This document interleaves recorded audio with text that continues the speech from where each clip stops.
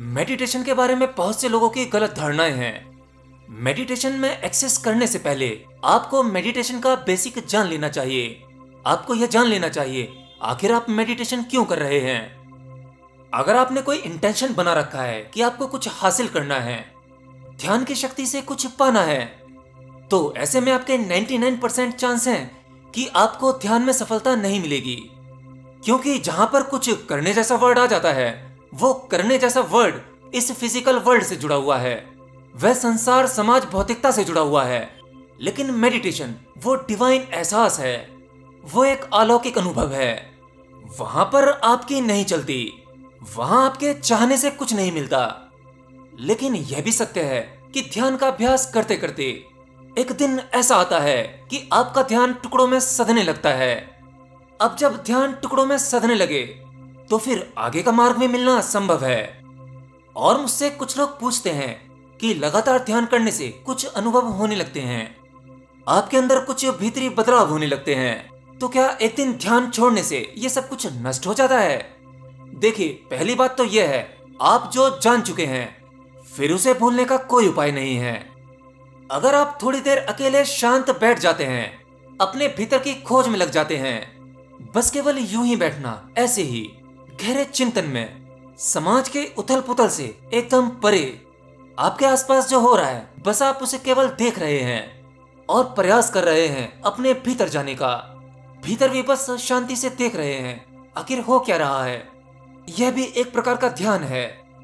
आपके भौतिक और सूक्ष्म तल पर शांत होने पर आपको कॉस्मिक एनर्जी मिलने लगती है।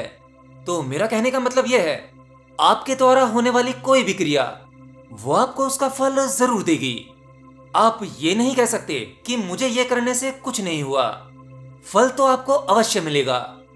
अब वो डिपेंड करता है आपके इंटेंशन पर कि फल आपको नेगेटिव मिलेगा या पॉजिटिव तो इसी प्रकार से आप जो भी ध्यान करते हैं, अब चाहे वो विपसना मेडिटेशन हो या फिर क्रिया योग हो, या फिर बस ऐसे ही यूँ ही बैठ जाना दृष्टा भाव में, इन सभी प्रकार के ध्यान में आपको कुछ शक्तियाँ मिलती हैं। अब वो किस प्रकार की होती हैं, मैं आपको बताता हूँ। देखिए, एक ध्यानी जब ध्यान करता है तो एक साधक अपने ध्यान में जो कमाता है, उसकी पहली कमाई होती है। क्लैरिटी ऑफ़ थॉट्स उसके विचारों में स्पष्टता आ जाती है। देखिए, आप तो जानते ही होंगे कि हम में से ज़्यादातर लोगों का दिमाग एक कंफ्यूजिंग माइंड होता है। आज ज़्यादातर लोगों में क्लैरिटी नहीं है थॉट्स की क्लैरिटी नहीं है। और वो इसलिए क्योंकि आज हमारे पास समाज में इतना सब कुछ है, करने को, देखने को बहुत कुछ है, जिसकी वजह से हमारा ब्रेन मल्टीपल थॉट्स क्रिएट करता है। और ये थॉट्स इतने ज़्यादा हो जाते हैं कि एक के बाद एक एक के ऊपर एक, सभी थॉट्स अशुद्ध या कहें अनक्लियर हो जाते हैं। वहाँ सब कुछ धुंधला है, कुछ भी क्लियर नहीं दिखता, इसीलिए हमारे डिसीज़न भी कभी कभी क्लियर नहीं होते।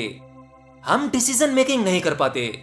तो जब आप ध्यान का अभ्यास करोगे तब आप उस ध्यान की अवस्था में जानोगे, जहाँ आप बिल्कुल शांत होकर बैठे हुए हैं। शुरुआत में विचार आएँगे, उन्हें आने दो। तब आप जानोगे कि आपका दिमाग आपके साथ जो खेल खेलता है, जो उथल पुथल चलती है, जितने भी विचार चलते हैं, उनका असल में कोई अर्थ नहीं है। वो विचार तो आ रहे हैं, जा रहे हैं। उन सभी विचारों में, उल्टा आप उनमें इंटरेस्ट लोगे या उनके बारे में सोचोगे तो और बेचैन होते चले जाओगे। तो ध्यान में आपको इतनी क्लैरिटी मिलने लगती है। और जब आप बाहरी रूप से शांत होने लगते हैं, साथ ही साथ भीतरी रूप से भी शांत हो जाते हैं, तब आपके भीतर प्रोसेस ऑफ़ थॉट्स कम हो जाते हैं। अब जब उतने विचार नहीं आएँगे तो वहाँ तो बहुत जगह बची हुई है। जो विचार जाएगा, वो क्लियर दिखाई देगा। जो भी डिसीज़न जाएगा, वो डिसीज़न भी साफ़ दिखाई देगा। तो ध्यान में आपको पहला बेनिफिट मिलता है क्लैरिटी ऑफ़ थॉट का। और ध्यान में आपको दूसरा फ़ायदा जो होता है, वो होता है क्रिएटिविटी का। देखिए, ध्यान की शक्ति आपको क्रिएटिव और इंटेलिजेंट बनाती है। अब जरा गौर करना क्रिएटिविटी और इंटेलिजेंस इसका मतलब ये नहीं कि आपको डॉक्टर बनना है इंजीनियर बनना है, या कोई अच्छी उपाधि प्राप्त करनी है। डॉक्टर बनने के लिए आप वही पढ़ाई करते हैं, जो ऑलरेडी लिखी जा चुकी है। वहाँ आपने अपनी क्या खोज की? आपने किताबों से जो ज्ञान हासिल किया, आप बेशक सभी किताबें याद रख सकते हो। आपकी मेमोरी बहुत अच्छी हो। एक बार कोई चीज़ देख लें, उसे कभी ना भूलें। एक बार जो करते हुए देख लें, आप तुरंत कभी भी कर सकते हैं। यह क्रिएटिविटी नहीं है, यह कॉपी है। क्रिएटिविटी का मतलब होता है, कुछ ऐसा जो पहले कभी ना खोजा गया हो, जो सिर्फ़ आपने खोजा हो, आपके दिमाग की उपज हो। और ध्यान का तीसरा फ़ायदा जो होता है, वो होता है आपके भीतर करुणा का जन्म, प्रेम का जन्म। धैर्य की अवस्था। मुझसे बहुत से लोग पूछते हैं कि, सर, मैं नॉनवेज खाता हूँ और ध्यान भी करता हूँ। मैं ये नॉनवेज छोड़ना चाहता हूँ। भला मैं ये नॉनवेज कैसे छोड़ सकता हूँ? देखिए नॉनवेज छोड़कर आप ध्यान करने जाएँगे तो कभी नहीं कर पाएँगे। उल्टा आप केवल ध्यान करते रहिए। आप जो खाते हो, उसे खाते रहिए। इससे कोई फ़र्क नहीं पड़ता। लेकिन जैसे जैसे आपके भीतर ध्यान का उदय होगा, ध्यान की शक्ति बढ़ेगी, आपके भीतर एक करुणा आने लगेगी। एक प्रेम आने लगेगा। तो जब आप नॉनवेज खाने बैठेंगे, उसे खाने से पहले आपके भीतर एक विचार जन्म लेगा। आपके हाथ में वो बाँस का टुकड़ा पकड़ते ही एक दया आ जाएगी। आपके भीतर एक ख्याल आ सकता है कि आप एक ऐसे बेजुबान जानवर को खा रहे हैं, जिसने आपका कुछ भी नहीं बिगाड़ा। वो आपको जानता तक नहीं, आपसे कोई मतलब नहीं। लेकिन आप अपनी जिब्वा के स्वाद के लिए उसे खा रहे हैं। जबकि आप उसे खाए बिना भी जीवित रह सकते हैं। तो नॉनवेज छोड़ा नहीं जाता, बल्कि ध्यान करते करते आपके भीतर कुछ इनर चेंजेस आने लगते हैं, जिसकी वजह से ये चीज़ें स्वतः ही छूट जाती हैं। बस आपको पता होना चाहिए, आपने अपने ध्यान में जो कमाया है, उसका इन्वेस्टमेंट कैसे करना है। आपको अब जल्दी गुस्सा नहीं आएगा। आप हर एक परिस्थिति में शांत होने लगोगे। हड़बड़ाहट खत्म हो जाएगी। एक डेंजर और गलत सिचुएशन को भी बड़े ही आसानी से प्रेम से सुलझा लोगे और ध्यान से आपको चौथा बेनिफिट जो होता है, वो आपको मानसिक रूप से होता है। मतलब आपको थोड़ा थोड़ा ये नेचर का सिस्टम समझ में आने लगता है। मनुष्य का सिस्टम समझ में आने लगता है। आखिर हमारा मैकेनिज्म क्या है? वो किस प्रकार काम करता है? वो चीज़ें अपने आप ही सुलझती चली जाती हैं। अगर आपके शरीर में कुछ गड़बड़ हो रही है तो आप उसे पहले ही समझने लगोगे कि ये गड़बड़ क्यों हो रही है। इसका इलाज क्या है? साथ ही आप अपने आसपास दूसरे लोगों को भी केवल एक बार उन्हें देखकर बहुत अच्छी तरह से समझ पाएँगे।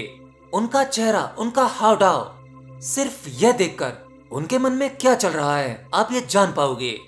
किसी भी व्यक्ति से एक बार बात करने के बाद आप जान पाओगे कि उसका सोचने का पैटर्न क्या है, इसकी लाइफ में चल क्या रहा है। मतलब यह है कि आप किसी भी इंसान के साइकोलॉजिकल सीक्रेट जानने लगते हैं। और ध्यान से आपको अगला फ़ायदा जो होता है वो है आपकी इंद्रियों से परे की चीज़ें। मतलब आप जो अपनी आँखों से देखते हैं, कानों से सुनते हैं, जो स्पर्श करते हैं, आपको इस फ़िज़िकल वर्ल्ड में जो भी कुछ दिखाई देता है, वो सब कुछ आपको माया नज़र आने लगता है। ध्यान की ऊर्जा से आपको अपनी इंद्रियों के परे की चीज़ें, उनका आभास होने लगता है। एक एक कर दरवाजे खुलने लगते हैं और ज्ञान का उदय होने लगता है। तो दोस्तों, मैंने जो अभी बताया कि ध्यान से आप क्या कमाते हो, ये बहुत मामूली से फ़ायदे थे। ध्यान से कमाई हुई कमाई के बारे में बताने बैठ जाऊँ तो टॉपिक कभी खत्म ही नहीं होगा। यह तो केवल कुछ बेसिक ही था। बाकी आगे की वीडियो में ध्यान की और भी शक्तियाँ और इनके फ़ायदे के बारे में बताऊँगा।